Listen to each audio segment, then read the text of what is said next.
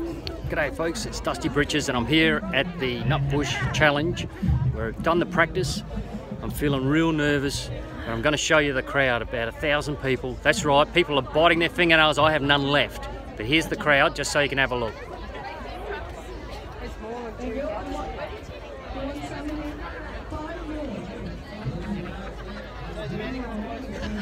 And there's and there's my te- there's my teacher there. There's my teacher because there's a new move I didn't even know about. Lee from Lismore. There you go. so there it is, folks.